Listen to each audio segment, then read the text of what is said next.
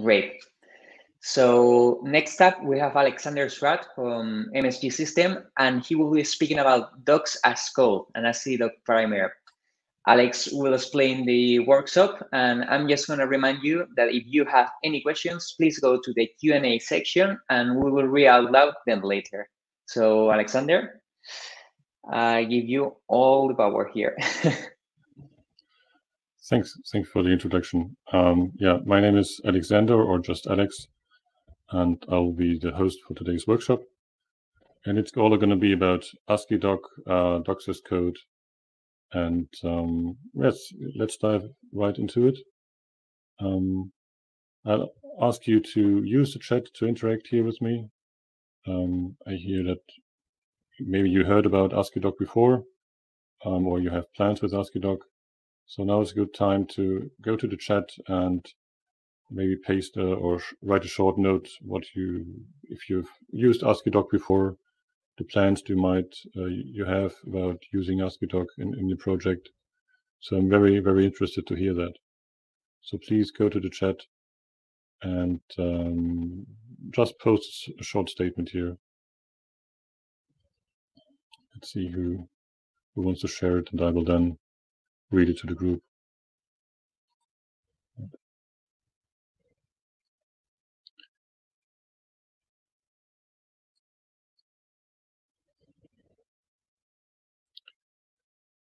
David says, okay, so you have some experience um, with docs as code in the partner network, okay. Um, and, uh, Chandra Lecker writes that uh, they use AsciiDoc in their current project. So you have already some experience, that's great. Um, and but today you're going to be writing AsciiDoc um, in a small web editor and uh, maybe learn things about AsciiDoc that you uh, didn't know before, and maybe experience that with a, with a, with a small team. Right. So let's dive into this um, these slides and say, well, AsciiDoc, why do you, how do you write your docs? Well, sometimes you use an Office suite. Um, it's nice to print them or share them by you know, mailing them around but it's nothing that really works together with source control very good. And wikis are then also very, very difficult to share. Um, they're also difficult to print if that's still needed. And um, while they're good at collaboration, they kind of are difficult to version documentation together with their software that you're writing in a, in a Git repository. So that's that's usually problems with wikis with um, a real continuous integration and continuous delivery setup that works both for text and documentation and for your code. Um, you want to have a documentation that you can search delivered by your continuous integration pipeline. You have, want to have code snippets in your documentation, like using real code that's tested um, by unit tests. Um, you want to document your APIs, um, but you don't want to duplicate them when you write documentation. And AsciiDoc can help you doing that. And well, there are two things around in here um, that are not to be confused. And I always try to be exact here. If I do make mistakes, please point them out to me. So AsciiDoc is the language. So like the text that you write in the in the documentation, that's the and Asciidoctor is one of the tool chains that you can use to create HTML and PDFs from that. Um, so AsciiDoc is all about frictionless writing uh, and using plain text. It has a feature-rich syntax for technical documentation. It's been around for more than 15 years. And in 2020, uh, a standardization process started at the Eclipse Foundation. Asciidoctor is then the tool chain to create HTML and PDF from AsciiDoc files. Um, so it's all open source. It run, it's written in Java in Ruby, but also runs on Java, Ruby, and JavaScript runtimes and can be integrated in a build, like Maven, for example, or an npm build. You choose it. And the, this AsciiDoc, you write it in your IDE. Um, so I'm also the maintainer, the current maintainer of the IntelliJ AsciiDoc plugin. So when you write your content, you're actually not leaving your IDE. You stay focused. You don't switch any apps. Um, and uh, you collaborate with others using version control. That's what developers do. And also for technical writing, um, it helps a lot to version the content that you're writing. And well, this plugin provides also support for Antora. So that's a full site builder for AsciiDoc content. And about Antora, there will be a talk later today um, that, all, that I will also present and where you might pick up some other or deeper insights on how you build a documentation site for your users using AsciiDoc and Antora. So there, there's IDE support in Eclipse, in IntelliJ, in Atom, Visual Studio Code, in Brackets, and many others. And they provide you a live preview that you type on the left on, um, on the left side, usually in the editor, and on the right you will have a preview. Um, there are also, if you just want to have a preview, and there are plugins for different browsers that help you there, or standalone editors like AsciiDocFX. Um, yeah, and let's dive into what I've um, brought you today. So you will dive into AsciiDoc and learn together with others how to write AsciiDoc. So I brought you some, I would say, katas or uh, little writing challenges. There's a web editor that will have a scratch list on the left, a source code in the middle, and a preview on the right. So it works just like an IDE, but it works in your browser and you don't have to install anything on your local PC. You can use your local IDE, IDE if you like, but you don't have to. Um, right. So I will show you now live how this editor works.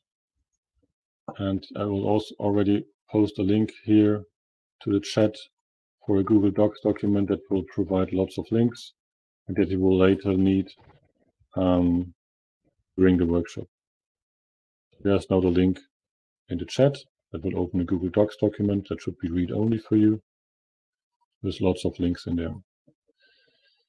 So I'll show you the editor. So the editor, is, oh, well, this is now the live view here. Let's uh, close this here, give it more, a little bit more space. So I can type in here, hello world on the left, and it will give me a preview here on the right. And if I start writing something in AsciiDoc, make it maybe bold, if this is the formatting for bold, it will show it in bold on the right. And this is a live preview. And the good thing is you can share this URL with others. And all the people who work in this one editor share the same document and can work collaboratively in a group exercise in these. So what I would, and yeah, one of these, well, katas, I call them, I presented to you is for, for example, a formatting kata. Um, so the kata itself is written in AsciiDoc. So here on the left, and it's also between these equal signs, there's um, you will see, uh, I would say, um, the instructions. You also see links here. And it might look a bit confusing first, um, but then you then you can see a pre-rendered content here on the right, and you can click on the link here. So you want, if you want to learn more about text formatting and punctuation, you click on this link, and a new tab will open in your browser, and tell you everything about formatting and punctuation um, that you can use to solve this. And down here, and you see another user already entered this. Uh, there's a cursor of another user, and then you can um, type along with that other user to work on this exercise and say, okay, let's do some bold text. Let's make it bold and this works well as long as I scroll down here and you can then as a team find out um, how these different things work um, everybody can have their own kind of space here. Um, right. If you choose not to, well, I, I would recommend to do this in this web editor to collect uh, collaborative with others. And to do that really collaboratively, I would like you to share maybe voice, maybe your camera as well, using Zoom breakout rooms.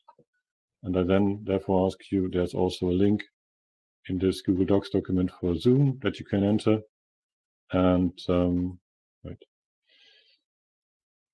If you then go to this um, this uh, document here, you will have the Zoom breakout rooms um, when you enter here. But I think I probably misconfigured them that I need to assign you to the different breakout rooms. You can't do that on your own.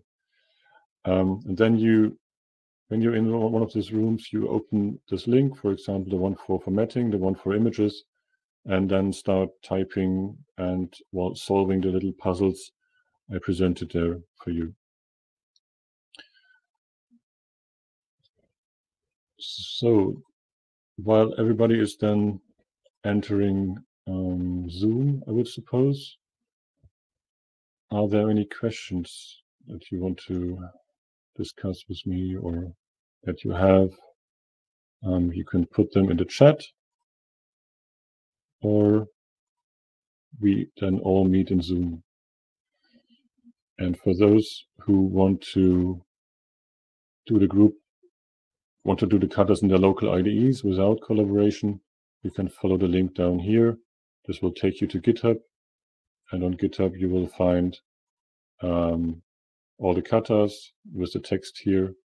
And you will then go to raw view. And then you can copy out this raw view to your IDE. Right. So I will then write into the chat. So leave a note for everybody who will join a bit later. Please click on link. and then join Zoom and pick a group exercise.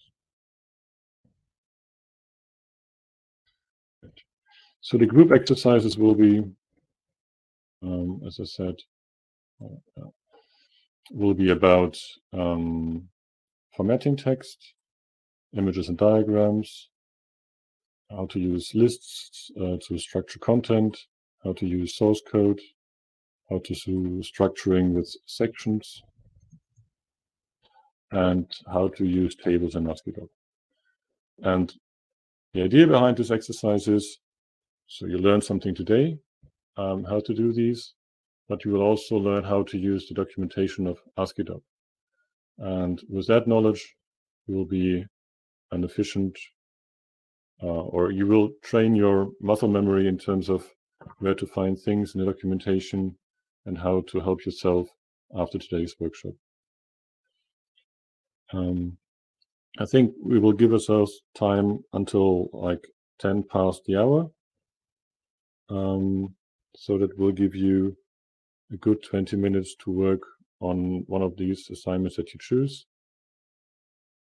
And then we will all meet again in Hopin and for a Q&A session. And I'm happy to answer maybe questions that arise from today, or we will look at the, the group assign group exercises, uh, maybe look at some of the solutions that people are prepared there. Um, and then later on, maybe show how that works in an IDE. Good. Now let's move all over to Zoom and um, see how that works. So can I help? Um,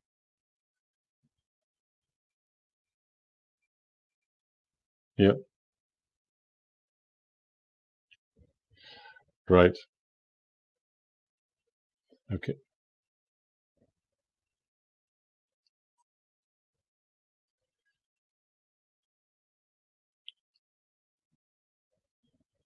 Right.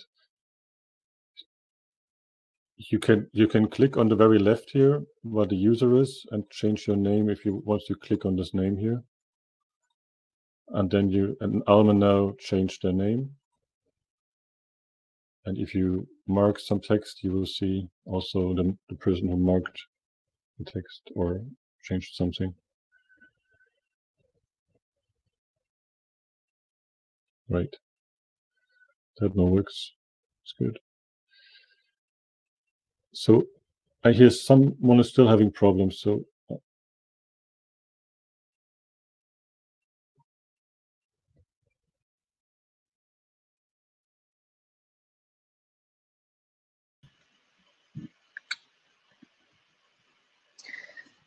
So, Alex, I'm not sure if you are listening to me, but